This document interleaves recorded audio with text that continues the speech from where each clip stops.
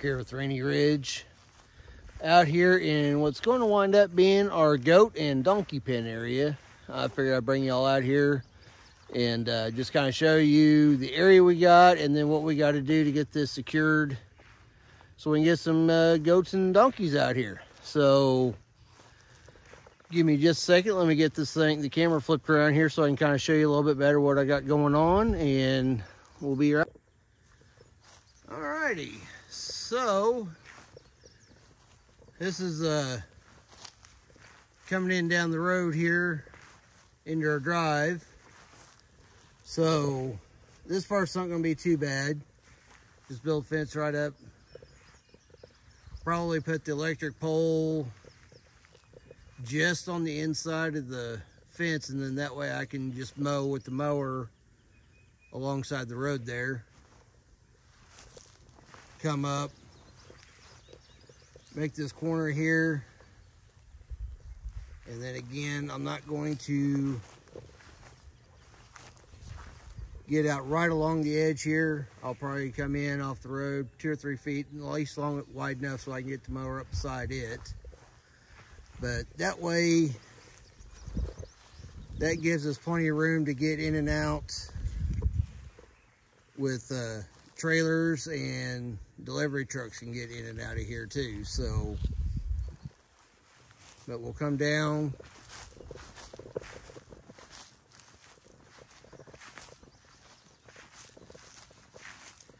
And then this is where the real work's going to begin. Come down here to this corner between us and our neighbors here. So we're going to have to get this cleaned up get all this brush cleaned up back here to the fence and get back in behind this big, big oak tree. I said it was big, guys. I wasn't lying. This is basically, was it three? Yeah. Three oak trees. Let me see if I can get back here just a little bit further. Three big, good-sized oak trees all growed up in together. So, yeah, I gotta work around that. Even my new chainsaw that I got ain't big enough to cut this thing down. But it's also got a big branch that grows over in the neighbor's place. And I really need to get it cut out and cleaned up so that way the neighbors can come in here uh, and reclaim this corner of their property because they do cut hay over here but with that branch, they've just kind of kept cutting in and in and in, and this is taking over, so they're losing quite a bit of hay. So I do need to get in here and get that get that branch cut out and out of there. Then that way they can get in here and do what they need to do so they can reclaim this part of their property so they can get some more hay. So anyway, so we got this little bit of barbed wire here, which that'll be another thing once they get that done, because they do run cattle in here as well, but they don't really come in past that brush. But that part need to be fixed for them, but so we can run our fence along for the goats and donkeys. But we gotta come down here, make this corner here around here. As you can see that they just cut hay the other day. Oh, excuse me, guys.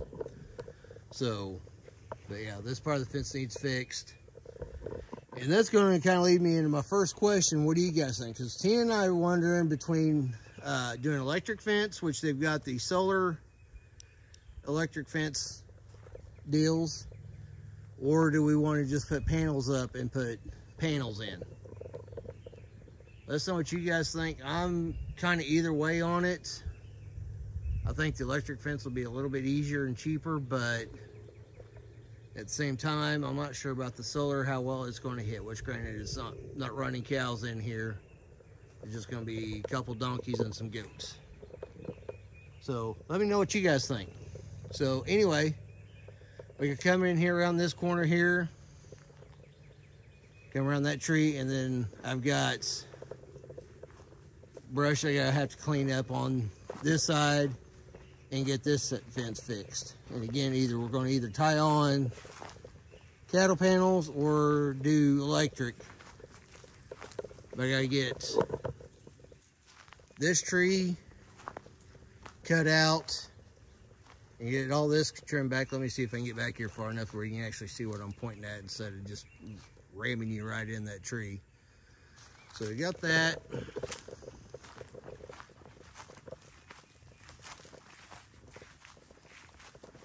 Come down here like so. And you see we gotta get all this cut out, cleaned.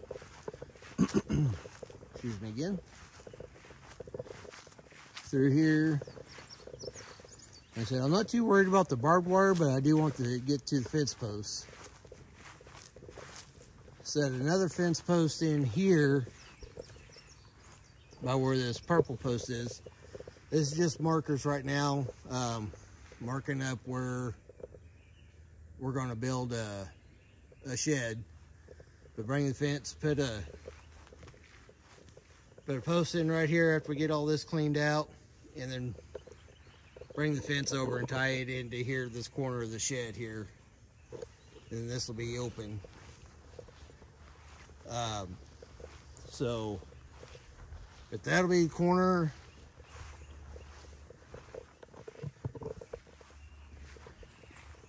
And here's the other corner here. Excuse my burn barrel that Tina's been after me to get cleaned out of here that I have not done yet, obviously, because it's still sitting right there where it has been for a day or two-ish. So this will be the front side of the shed here. It'll be open.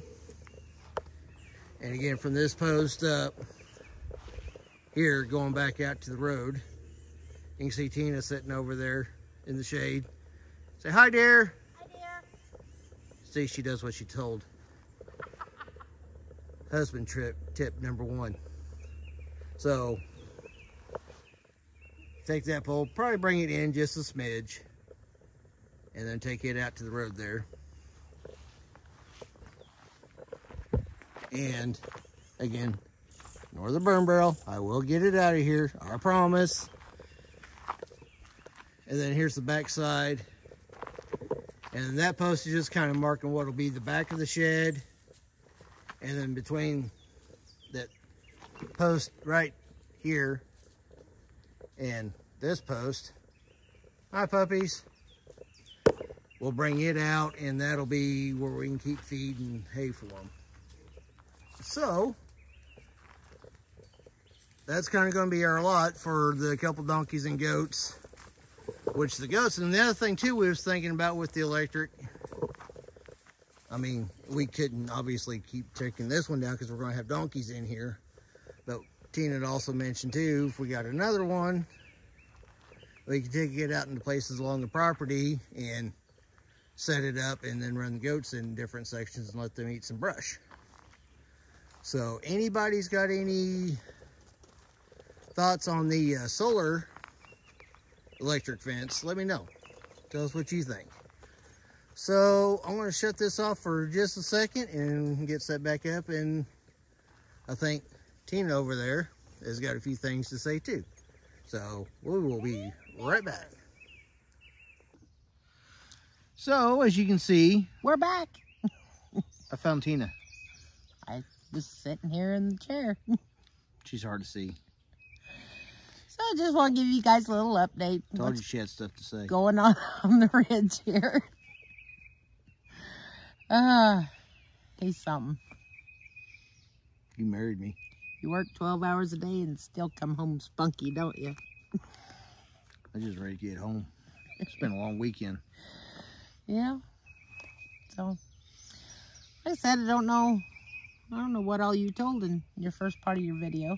Uh, I said we're gonna put fence there, there, got clean fence and then pit fence up there, build a shed there, put So- some goats and a couple donkeys in here. So, Did you tell where I was getting goats? No. No. I figured that's what you wanted to say.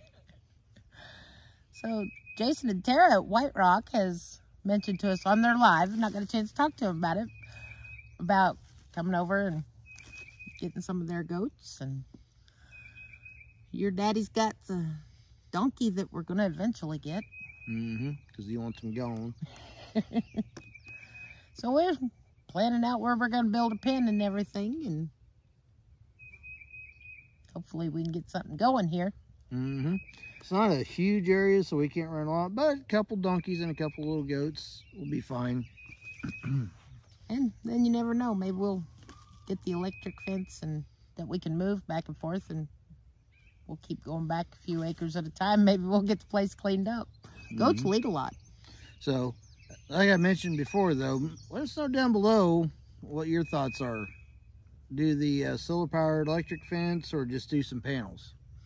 Because I don't have any experience with the solar-powered electric fence. I know the plug-in ones, but I don't want to run electric out here. So, because it's right across the driveway and I ain't burying it. so it's either going to be a real fence or do the solar powered. Which this area gets plenty of sunlight, so I don't have to worry about lack of sun for solar. I just want to make sure it's decent. Hopefully it'll hold them in. Yeah. So. I hear goats are escape artists. Mm-hmm. So, it, it's not a huge area, so I mean, it, they don't have to pack a huge wallop to it to go a long distance, but we do need it big enough to run two or three strands. But another update. Hopefully, cross our fingers, we'll have water this week. Yay! Everybody, all our friends, Nan and Dale with nine acres, and Lauren and Joel with making it home they've been so great and offering to come and help. It's like, it's all right, guys. We just, we don't do credit cards or nothing. And it just takes a little bit to save up. And the well is a little expensive. So. Been working lots of overtime, saving up money. Neighbor driving by. We had to say howdy. so, we like our neighbors. Yeah. But so yeah, is and this is like we we've had a lot of people offering to come up and help and come out and help from friends from work and whatnot and everything else, and then of course all our family over here on here. I mean, we, we, we've got everything up on top of the ground. It's just a matter of getting the parts replaced because we got to do the, the pump itself and then all new wiring and it's got to go down 520 feet. So that's a lot of wire wiring. Wire's not cheap. So just been, like I said, working a lot of overtime, scrimping and saving, and we should have the money hopefully this week. Woohoo! So, also got to get tires on the front of the truck. Yep. Like I said, everybody's been worried about us everything. We've lived off grid before. Yeah. We, we're making it okay. Yep. So, and we're not totally off grid. We do have some electric. Yeah.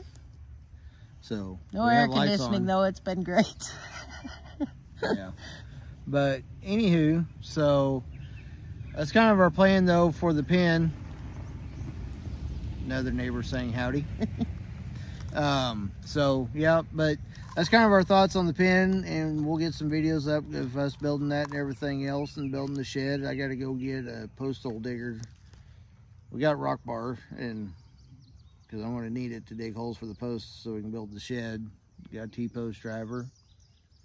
But we're still trying to figure out what we want to do for the fence itself as far as if we want to put panels up or if we want to do the electric. The electric is going to be the easiest thing because I can put electric fence stakes up a whole lot easier out here than I can trying to drive T-posts because it's nothing but rock. So, anywho, let us know what you guys think. We want your guys' opinions and thoughts and your experiences on it. So, I'm fixing to yell at my dogs because I don't know where they're going, but they shouldn't be going the direction they're going. so we're going to cut it out here. Guys, like, subscribe, share it out. Don't forget to hit that little ringy dingy bell to let it let y'all know when we get a new video out. And we'll catch y'all later, guys. So bye bye for now and stick around and see what we get into next. Bye guys.